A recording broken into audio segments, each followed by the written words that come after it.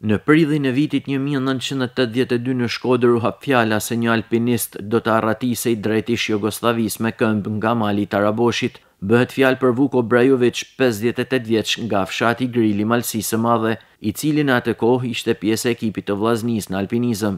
Vetëm tetëmbëdhjetë vjeç maturant në shkollën profesionale Koli Dromeno, për një moment vendos të largohet nga ora e mësimit dhe të niset në këmbë, për një ëndërr e cila iu pre në mes, sepse tentativa për t'u arratisur dështoi, sapo mbërriti në klonin e fshatit Zogaj, duke u ndeshur me patrullën e ushtrisë.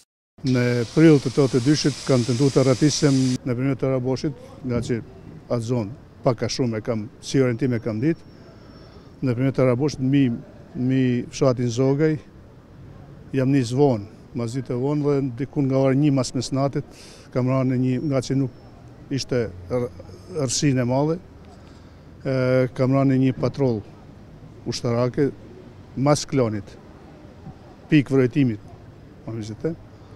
Në ato momente, kur vetëm kur kam dëgju karikimin e armës, atë thirrjen ndal.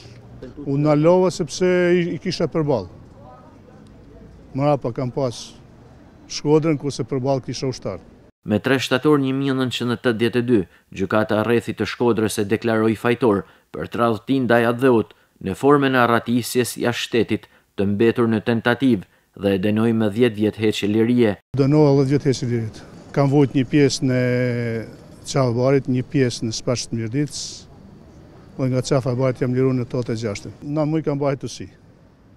Përveç, sepse kjo ka kenë një rast flagrant dhe nuk, një rast flagrant që nuk ke mujt të thuash që nuk jam nis, por kanë kërku, në atë moment kërkoshin që të